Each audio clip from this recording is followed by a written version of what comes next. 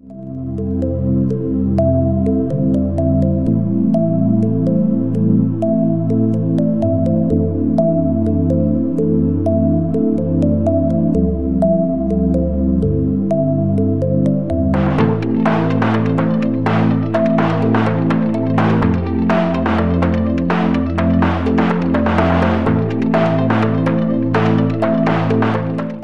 Sobat Pinter Fan, apa kabar hari ini?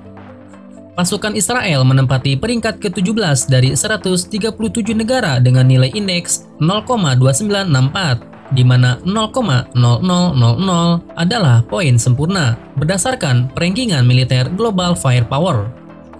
Peringkat tersebut berdasarkan tiga unit kemiliteran Israel, yaitu Angkatan Udara, Angkatan Darat, dan Angkatan Laut, serta beberapa faktor pendukung lainnya.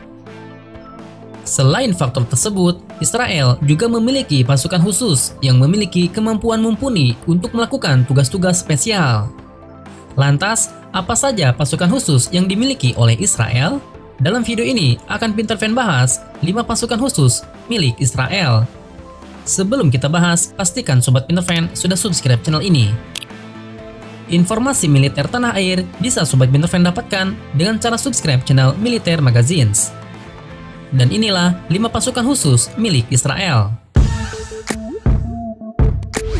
1. Sayeret Matkal Sobat Pinterfan, Sayeret Matkal adalah sebuah pasukan khusus Israel yang beranggotakan intel-intel yang bergerak di belakang garis musuh. Perekrutan anggota Sayeret Matkal dilakukan dengan pelatihan di Kam Gibus dengan pelatihan ekstra keras dan dimonitor ketat oleh dokter dan psikologis dan orang-orang terkuat yang menjadi anggota Sayeret Matkal.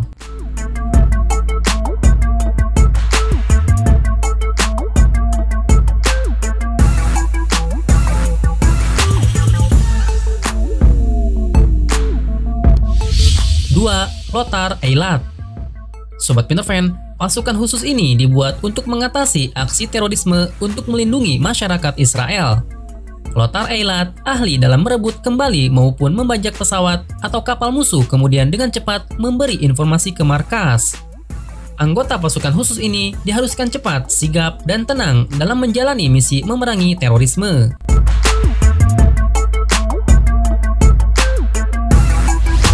3. Okets Sobat Pinterfan disebut sebagai Israel Defense Force atau IDF K9 Unit beroperasi khusus untuk misi dengan menggunakan anjing militer. Okets berdiri sejak 1939, tetapi sejak 1988, Okets bekerja secara rahasia. Pasukan Okets ahli dalam operasi menggunakan anjing untuk menjalankan misi penculikan, menetralisir bom di medan peperangan, dan misi penyelamatan dalam negeri. Setiap tahun, OKETS hanya menerima 25 anggota baru dari total 300 orang yang mendaftar.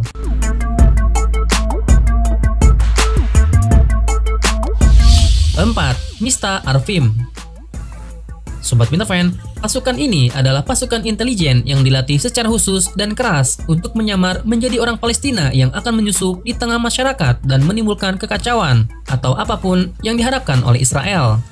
Pelatihan mereka termasuk berbicara dan berpikir seperti orang Palestina, berbicara bahasa Arab seperti bahasa ibu mereka sendiri, hingga ke dialek dan aksen di tempat mereka beroperasi seperti Yaman atau Tunisia. Situs Medium menyebutkan bahwa mereka menjalani praktek ibadah seperti sholat dan puasa, serta memiliki pengetahuan yang tepat mengenai agama Islam. Anggota Mista Arvim dipilih juga berdasarkan pertimbangan fisik dan wajah mirip orang Arab. Mereka dilatih selama 4-6 bulan.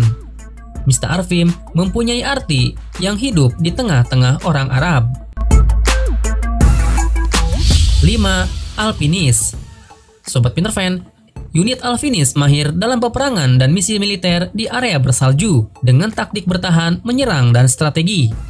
Alpinis berdiri sejak 1983 dan ditempatkan di perbatasan seperti Gorka dan Nepal. Para anggota Alpinis memiliki taktik untuk menyerang sambil berselancar di salju dalam kecepatan yang menakjubkan. Seperti yang dilansir Jewish Virtual Library, persenjataan standar mereka adalah senapan serbu M4 karbin, senapan TAR 21 Tapor, senapan mesin ringan, dan senapan sniper Negev, serta M24 dan SR25. Bagaimana menurut Sobat Pinterfan? Silahkan berkomentar di bawah video ini.